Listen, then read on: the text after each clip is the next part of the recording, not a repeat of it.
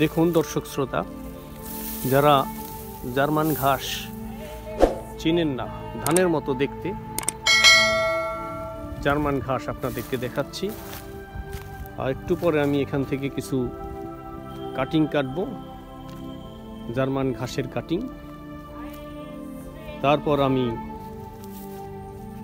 বাররা, কোমরগঞ্জ বাররাতে কিছু কাটিং নিয়ে যাব আমাদের এক ভাইয়ের জন্য। আমাদের সাথেই থাকেন। দেখুন, দর্শক শ্রোতা, আমি কতগুলো কাটিং নিয়ে নিচ্ছি মানে ঘাস, আনাম ঘাস নিয়ে নিয়েছি কতগুলো। এখান থেকে ছোট ছোট কাটিং করে তারপরে বিভিন্ন মানে খেতে বুনে দিলে এইগুলি হয়ে যাবে। টুকরা টুকরা করে বুনে দিলে, খেতে বুনে দিলে হয়ে যাবে।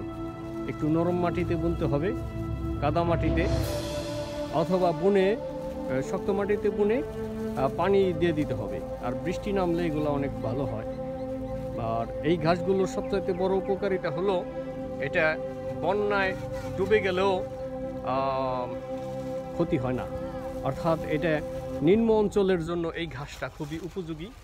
এই যে এই জার্মান ঘাসটা, যত বড় হবে ধানের মতো তত বাড়তে থাকবে। যত বন্যা হবে বন্যার ভিতরে ধানের মতো বড় হতে থাকবে তোলা, ডুবে যাবে না। এই ঘাসটা ডুবে যাবে না কখনোই। আর এইভাবে এই ঘাসটা পুরা ক্ষেত ছেয়ে যাবে। অল্প কিছু একটু জায়গার ভিতরে বুনলে পরবর্তীতে পুরা ক্ষেত ছেয়ে যাবে। ঘাসটা একবার বুনলে দশ বছরের ভিতরে আর নতুন করে বুনতে হয় না। বারবার কাটা যায়। দুই মাস তিন মাস পরপরই ঘাসগুলো কাটা যায়। দর্শক শ্রোতা আপনারা দেখতে পাচ্ছেন জার্মান ঘাস। এই জায়গাটার নাম হচ্ছে চাংলাইর চক। সামনে দেখতে পাচ্ছেন যে চাংলাইর গ্র্যান্ড ট্যাঙ্ক রুট ঐতিহাসিক, শেরশাহ নির্মিত।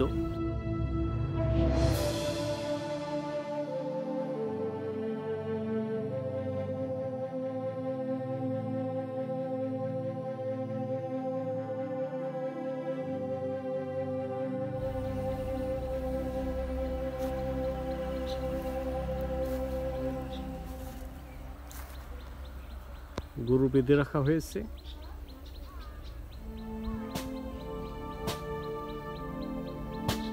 ছাগল চড়তে আছে।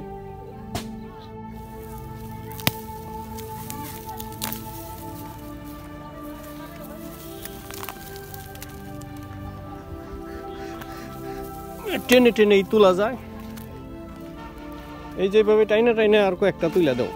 ঠিক আছে? ওই যে ওখান থেকে একটু লম্বা লম্বা দেখে। ঠিক আছে?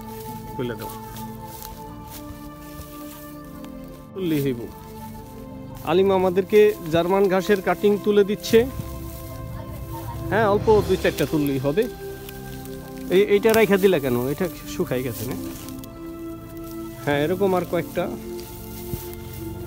অল্প কয়েকটা তুলো। গুড। হ্যাঁ ঠিক আছে। দাও, টান দাও। এই যে এখানে আছে, এই যে এই যে এই যে। যেগুলো একটু বেশি লম্বা। হয়ে গেছে, তারপর আর কি ভিডিও করার জন্য তুলতে আসি বেশি নেওয়ার দরকার নেই, আজকে আর টুকরা টুকরা করুন না আমি নিয়ে যাব যেখানে নিয়ে যাব দেখাই দিব যেভাবে টুকরা করে বন্যা দিবেন। ঠিক আছে না? কি ব্যথা পাইলা? চলবো চলবো, আর লাগবো না, আর লাগবো না, আর লাগবো না। এক কাজ করো, এই যে মুসরায় এটা একটু ভরে দাও, ব্যাগের ভিতরে। খালি জায়গা আছে। খোলো, ব্যাগটা খোলো একটু খুলে ভরে দাও।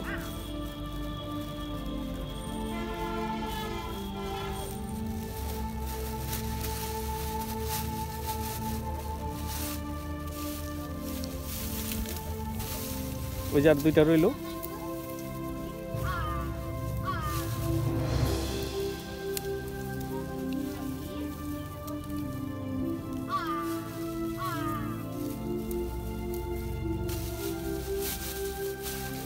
বৃষ্টি নামলে তো ওই জায়গাটা পানিতে তলায় যাব সাথে সাথে তাই না? অনেক নিচু জায়গা তাই না? তারপরে আবার গরু কিনবা কবে তোমরা? তাই?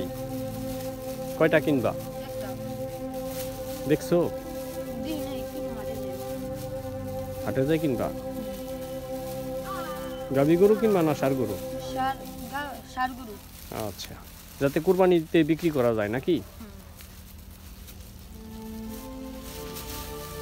ঠিক আছে, দেখে শুনে কিনো। দাও। ঠিক আছে, আনিম, ভালো থাকো। জার্মান ঘাস।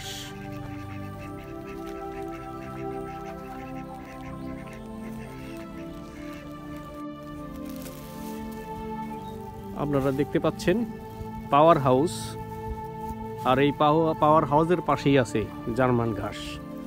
তার কিছু কাটিং আমি নিয়ে নিলাম। আলিম আমাকে সহযোগিতা করেছে। এই পাওয়ার হাউসের পাশেই আছে রেস্টুরেন্ট ক্যাফে পল্লী নাকি যেন নাম। হ্যাঁ রেস্টুরেন্টের নাম হলো পল্লীবাড়ি ক্যাফে পল্লীবাড়ি ক্যাফে পাশে পাওয়ার হাউস